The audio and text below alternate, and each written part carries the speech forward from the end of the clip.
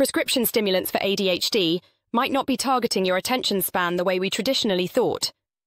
For decades, the medical consensus was that drugs like Ritalin worked by directly boosting activity in the brain's executive control centers to sharpen focus.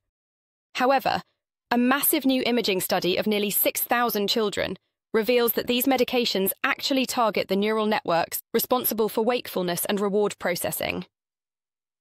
Instead of simply forcing the brain to pay attention, the drugs appear to make tedious tasks feel more rewarding, which reduces the urge to fidget or switch activities.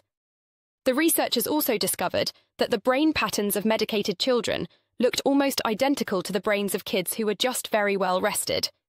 This suggests that stimulants effectively mask fatigue, allowing a tired or bored brain to function as if it had gotten a full night of sleep. Ultimately, these findings indicate that the medication works by boosting motivation and endurance rather than directly enhancing cognitive ability.